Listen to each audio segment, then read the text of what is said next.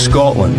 This nation brought the world television, the steam engine, golf, whiskey, penicillin, and of course, the deep fried Mars bar.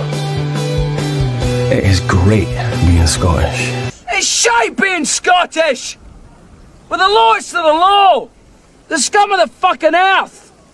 The most wretched, miserable, servile, pathetic trash that was ever shot into civilization! Some people hate the English, I don't! They're just wankers!